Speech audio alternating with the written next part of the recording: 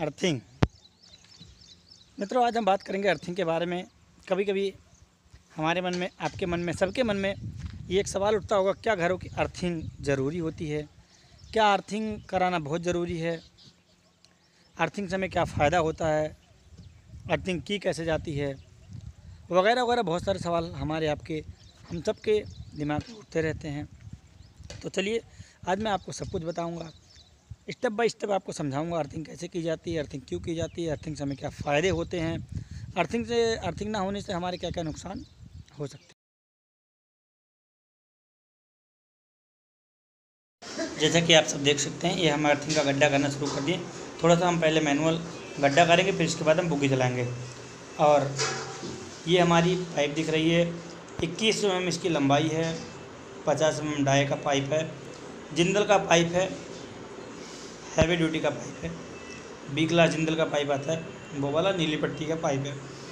Earthing के लिए यही पाइप होता है यूज़ होता है। बीच बीच में देखो हमने होल कर रखा ताकि नमी बराबर पाइप के अंदर जाती रहे। और ये हमने बुग्गी से अर्थिंग का होल करना स्टार्ट कर दिया है।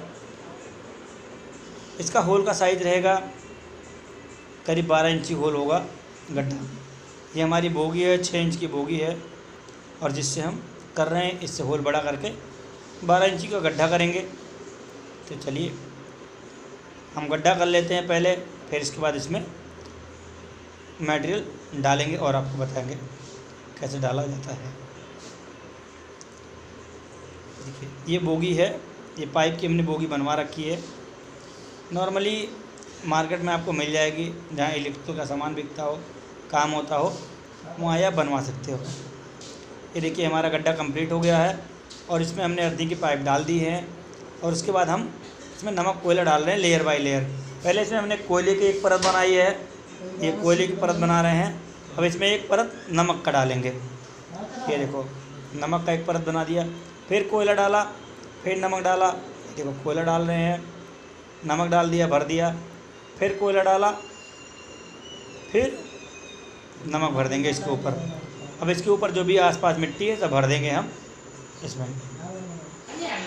इसके बाद हम इसके आसपास एक अर्थिंग पिट रख देंगे, उसके ऊपर कवर लगा देंगे और इसमें से एक तार निकाल के हमारे घर में जो डीबी लगी हुई है, जहाँ भी हमारे घर के सारे अर्थिंग के तार आए हैं, वहाँ ले जाके कनेक्ट कर देंगे, हमारी अर्थिंग हो गई। तो आपके घर की अर्थिंग होनी चाहिए। कभी कभी अक्सर ऐसा देखते हैं कि हम पंखा चलाते हैं तो हमें करंट मार देता है। हम प्रेस चलाने जाते हैं तो हमें करंट लगता है। ऐसा इसलिए होता है क्योंकि आपके घर की अर्थिंग नहीं है, आपके घर में अर्थिंग नहीं है, आपके उस उपकरण की अर्थिंग नहीं है। अगर आपके घर की अर्थिंग होती तो वो करंट आपको नहीं शाबाश बेटा, बहुत बढ़िया।